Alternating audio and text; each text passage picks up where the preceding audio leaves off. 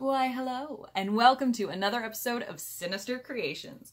Um, first off, I wanted to thank everybody for all of the love I received on the last video for the Scorpio claws. I really appreciate all of you who commented, who bought a pattern. If you did, I want to see them when they're done. I want to see what you make. I want to see every claw that you've made from this video, and I want to shout you out. So if you've made something that I've inspired you, any of my videos, um, I'd love you to message me, Instagram, tag, YouTube, however, let me know so I can put it in the next video and give you a shout out because I think that's amazing.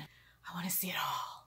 With that said, let's get started on what we're working on today. Um, if you want to give me one second, I will go grab it. So what we're going to be working on today is kitty ears. Well, alien kitty ears. God, I look good. Alien kitty ears. So these are my Zethrid ears. Oh, that did not turn out well. I made these uh, for cosplay last year. I really liked how I look in these ears. And I'm going to be making a new pair for season 8.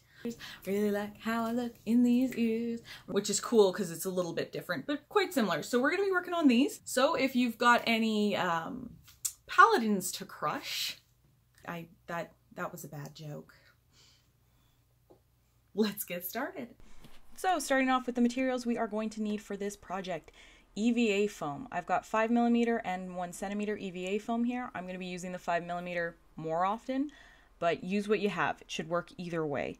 I've also got contact cement for gluing, X-Acto knife for cutting, heat gun for shaping, something to sand with. I'm going to be using the sanding belt, but you can use hand sanding materials. They should work just as well. You're going to need wax paper, some sort of tacky glue. I like um, the Fabric Fusion. It seems to work really well for me. And some source of hair. These are some cheap wigs I got off of Amazon. Um, you can also use any wefts or weaves that you have that are the color you want.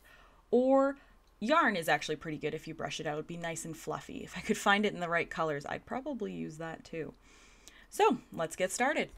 So what we're going to be doing is creating a helmet that we attach the ears to. This is going to make it easier to take it on and off at the con. It gets a little warm, but it's not too bad. It's actually pretty comfortable to wear. So I'm using this pattern here. This is not my pattern. This is Evil Ted's Magneto helmet. I've used it for a few projects and it works exceptionally well. I'll put a link down where you can go buy that from him.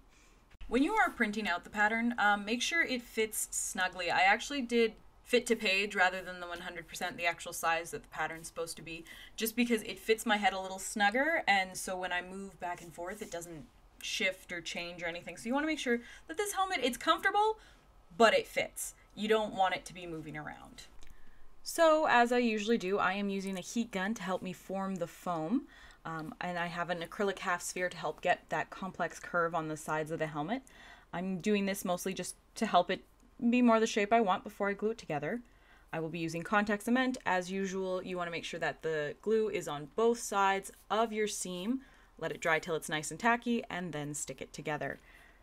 I also uh, eventually lined it with a little bit of foam clay just because I am impatient with glue, and this helps seal it a little nicer for me. So, actually, the foam clay is not a great idea. I did wear this to a con your head gets a little sweaty doesn't matter what you're wearing wig or that you're going to get a little sweaty. And once the foam clay gets a little damp it kind of goes back to its softer mushy state. So i had some black stuff in my hair. Um, it wasn't too bad. I mean it's manageable. I, it's not awful but it might be something you want to avoid. So just make sure you glue it really good so I am stopping the video right here to explain a thing or two. After I made this new headpiece with ears for my Zethrid Warlord costume, I flew to Vancouver and I put it in my checked baggage and it did not fare well. I didn't pack it quite as well as I could and I'm sure Air Canada was not very gentle with my bag. As you can see, there's this gapping that's happening with the ears. I don't really like how that looks, so I decided I am going to remake the entire central helmet piece. I'll recycle the ears, but I'm going to do this in a way that that gapping is going to be much more minimal. As you can see, to start off with that method, I actually cut ear holes in the actual helmet for my ears to stick out.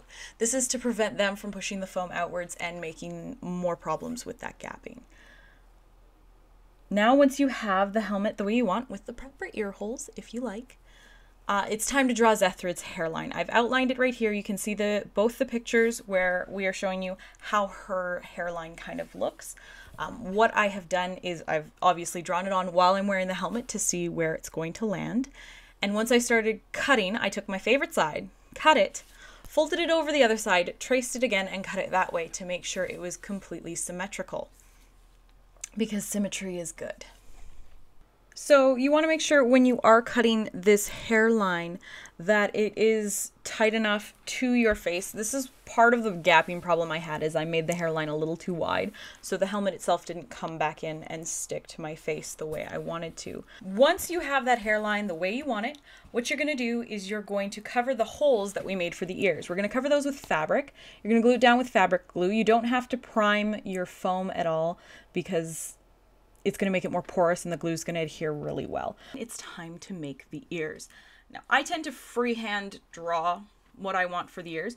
I want to make sure they're a little bit taller than what I actually need because I'm going to have the foam curl over just to be that little lip. Um, so I did this freehand. Um, you don't have to. You can trace any reference photos you have, or I may put up what I've made. If you guys are interested, let me know in the comments below and you can grab that and use that for your patterns. Since I am doing season 8 Zethrid, her ears are asymmetrical because of the burns. Um, you should only have to draw one of these if you're doing a previous version because the ears are the same. You just take one, flip it over, and draw it the other way. Once you have your patterns drawn for the ear, you actually want to test them out with the helmet you got. Um, if you notice, she has this little like piece of her hairline that comes forward a little bit like so there's the triangle and then there's two little bits that come in. That's where i kind of want the edges of the ears to sit. So i'm testing it out seeing if my pattern is actually appropriate for the size that i want. Um, the first version of this i did i actually made the ears a little wider and a little bigger than i wanted. Um, if you look at her proportionally they're not actually so huge they're not the width of her shoulders now i am not the same proportions of zethrid so it doesn't always work out completely, but I made them a little bit smaller this time um, just to deal with that. Once we have the pattern the way we like it, we're to cut out the ears. As I said, if you're doing season 8 like me, there are two separate looking ears because one's all chewed up and burnt and the other is normal. Otherwise, you just want to flip your pattern to draw the second ear. So we cut those out. We're going to start shaping them again with the heat gun. Um, I'm curling over the top to try and get that cupping of the ears because ears are not just flat. Um, so you want to make sure you've got that curl. And again, I like to pin it to the helmet to kind of figure out how it's going to look. So, because it's all for the aesthetic, guys. You got to make sure it's going to look good. I also actually, when I pinned it to the helmet, taped down that curve just because sometimes if the foam sits, if you heat it up and you just let it sit with a little extra curl in it or a little extra shape, just keeping it there, it tends to stay a lot better in the end, um, at least in my personal opinion. So I'm not actually finished with the ears here. I'm actually going to be cutting out some shapes similar to them, um, just because, again, ears are not flat. They're multidimensional. They have a little bit of bulk to them, especially at the back. There's like kind of almost like a, a little semi-sphere at the back of even the human ear. So I'm kind of faking that a little bit by cutting out the thicker foam, gluing it together. I'm going to be sanding it down to make the edges nice and neat. Um, I've done this quite messily because I usually do rely a lot on my sander. If um, you want to cut the edges a little more angled to make it a lot easier, you can do that as well. You can just leave the flat ears. They still look pretty good. I mean, it's hardly noticeable. It's just a little thing that I kind of want to add. Once you have the ears shaped the way you like, you want to make sure you glue them together. So you're going to glue, as I said, that little lip of the curve is going to be right where the hairline kind of extends the second time. So, okay. So as you can see, we don't have that gapping problem anymore, which was really bothering me. Um, and that's also because my ears, which were causing the gapping problem, have a little bit of relief. Um, so pretty good, I think. So the next part's a little tedious, but it's also a little fun. You're to get your wax paper and lay it down, and then you're to get whatever tacky glue you're using. Um, again, I like Fabric Fusion. It just seemed to work a little better. So you take your glue and you make a little strip of it. And you cut your hair. I like to cut it in small, manageable lengths. Um, what you're going to do is you're going to take that le- those lengths and just pat them down on top of that little line of glue. You don't want all of the hair into the glue, you just want an edge, um, kind of like a root, like actual hair roots are. This method is something I discovered the first time I made them because I tried to glue like all the hairs down individually the first time I did this, and it was not only tedious, didn't quite look as good. And then I also found that I just didn't have enough hair, I didn't have enough time. This way, you get a lot more coverage a lot quicker. So, it's the method I'm going with. I do enjoy doing this, it's kind of fun. You are going to have hair everywhere. There is no ifs, ands, or buts. It is going to be everywhere have a vacuum ready otherwise you're just going to be covered with purple and pink hair that's that's an inevitability while you're making these little hair tuft things make sure some of them like spread out and some of them come to a point at the end so um, have a wider base with the glue and have the hair come together this is really useful for those edges right at the end of the ear tips kind of thing so it sort of comes into a nice little tuft you want to make these for both the purple and the pink hair because you want enough for both. If you don't have enough done, you can make more as you go. Um, it's really hard to gauge how many of them you're going to actually need to cover the entire head. So once you've glued all those hairs down, it is time to let that glue dry. You just want to leave it for a little bit, a couple hours, half a day, whatever. And then you come back to it and you can just peel those little individual hair patches off, um, which is super useful, super nice. I never make enough, but it's okay because you can go back and make more. It's really easy. Um, I still have quite a bit of length on those wigs, so I'm always available to go back and do more.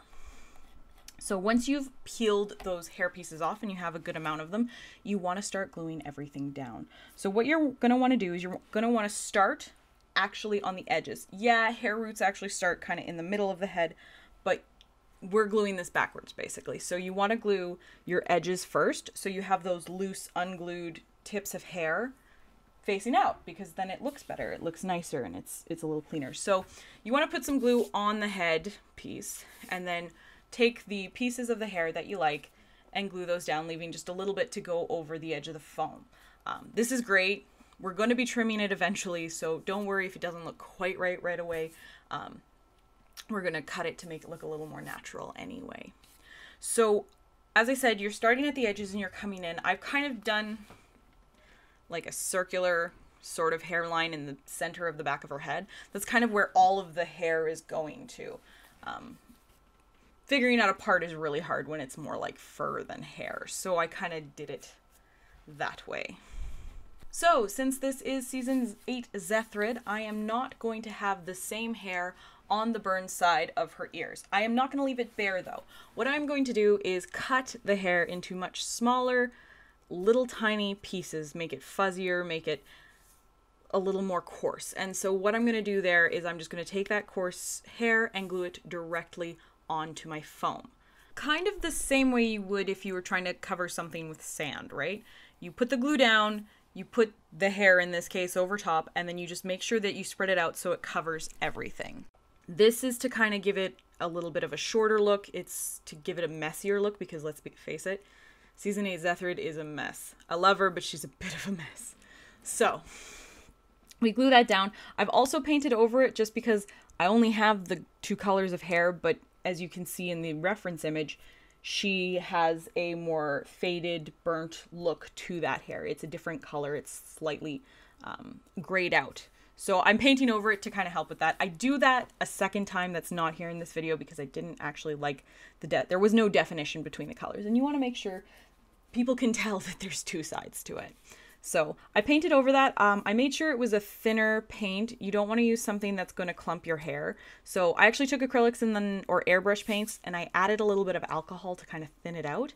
Um, that way you don't have the hair clumping quite as badly. Now it's not too big of an issue because as I said, this is her messy burnt side of her ears. So clumpy isn't horrible.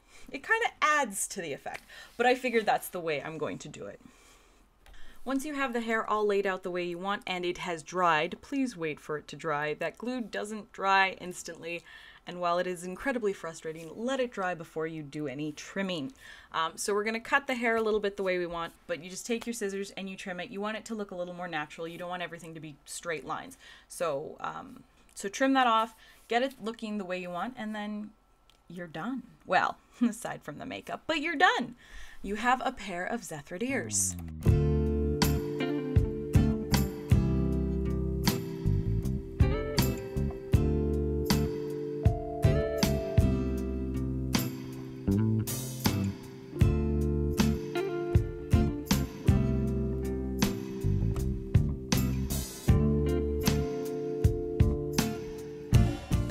That is how I made my lovely pair of Galra ears. Anyway, um, as you can see, these ones are much more snug. They're not going to slide or slip as much throughout the day. And again, beautiful, no gapping. My ears are completely hidden. I am not in the full makeup. Unfortunately, me doing the full makeup for this video was when I realized how bad the gapping in the original ears were. And I am not putting that makeup back on right now because of reasons. Please still have an eyebrow. Please still have an eyebrow. Please still have an eyebrow. I'm editing. Yeah, that's those are the reasons. um, thanks everybody for all the love, all the support on the last video. If you are making anything based on my videos, I want to see it because I want to feature you guys in the end of my next video. I want to see it. So if you want to actually see this full costume, I did do some videos on TikTok, um, or you could check out my Instagram. Uh, everything is under Random Sin. I'm just basically a giant dork. That's really the long and short of it. Let me know what you might want to see in the next video. Yes, the Scorpio tail is coming. I am working on it, but I'm not quite finished yet. So hopefully that'll be the next video I have out. This has been a lot of fun, guys. I hope this was informative. Thanks again to those who bought the pattern and wrap it